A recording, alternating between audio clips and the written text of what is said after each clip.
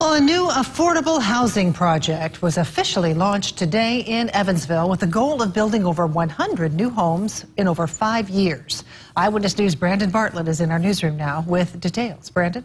Well, Shelley, that project will be centered in the Jacobsville area of Evansville. It's an area that has one of the highest poverty rates in the city. And some who live in that area tell me tonight this is just what that area needs.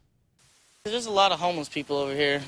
Charles Robbins lives in Jacobsville and says he sees every day the need for more affordable housing. Especially on this road right here, there's always homeless people there, like with signs and stuff.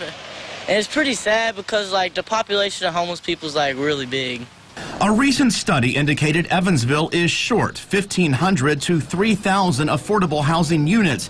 That's why the city of Evansville has partnered with Habitat for Humanity, Veteran, and Hope to use $5.5 million over five years to increase the number of affordable workforce housing. 26 homes will be built the first year with a goal of building over 100 homes over the five years.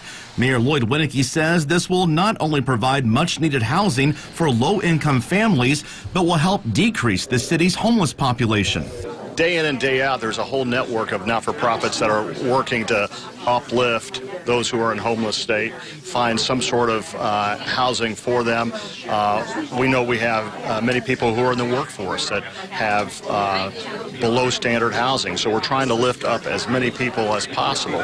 This affordable housing project is just the next chapter in what has been a revitalization of the Jacobsville neighborhood. Look at what's going on in Jacobsville. Uh, I think, you know, began with the complete street project. Uh, you look at what's going on with different business expansion there.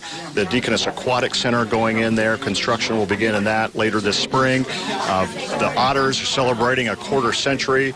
Uh, there's a lot going on in Jacobsville, and there's more to come. Habitat officials say they hope to break ground on their first home later this month. To apply for one of those homes, just call the Habitat for Humanity office. Live tonight in the newsroom, Brandon Bartlett, Eyewitness News.